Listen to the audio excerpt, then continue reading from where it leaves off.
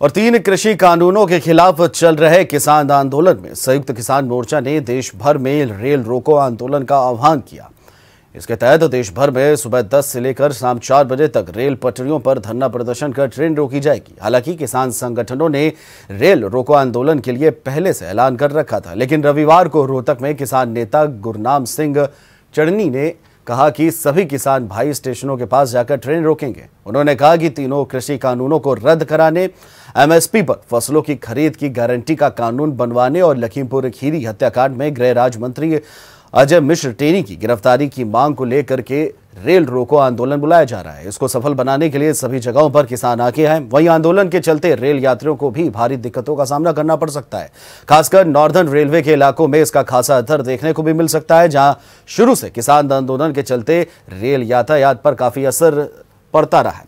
Railway सूत्रों के माने तो रेल संपत्ति को नुकसान से बचाने के लिए आरपीएफ को भी अभी से अलर्ट रहने के लिए कह दिया गया है। जहाँ जहाँ किसानों की रेल रोकने की संभावना है या फिर जहाँ पहले ही रेल रोकी जा चुकी थी, उन जगहों पर एक्स्ट्रा फोर्स भी तैनात की गई है।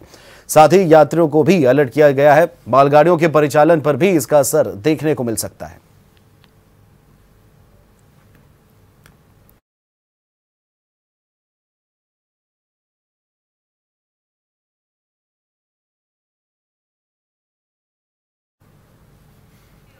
और केंद्र सरकार के तीन कृषि कानूनों के खिलाफ किसानों का आज आंदोलन जारी है। इस बीच संयुक्त किसान मोर्चा ने आज लखीमपुर हिंसा के मामले में केंद्रीय गृह राज्य मंत्री अजय मिश्र टेनी की बर्खास्तगी और गिरफ्तारी की मांग को लेकर के रेल रोको आंदोलन करने का ऐलान किया।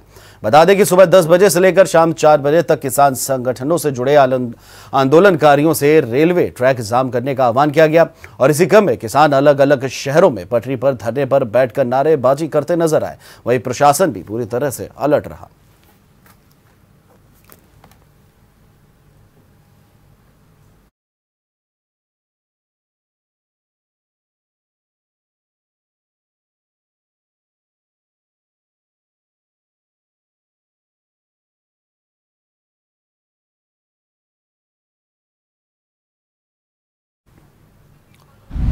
अगर आपको हमारा वीडियो पसंद आया हो तो हमें लाइक करें सब्सक्राइब करें और ज़्यादा से ज़्यादा शेयर करें। और हाँ बेल आइकॉन दबाना ना भूलें, ताकि हर खबर का अपडेट आप तक पहुँचे तुरंत। आप हमें इंस्टा ट्विटर और फेसबुक पर भी फॉलो कर सकते हैं। हमारी आईडी है at the rate news flash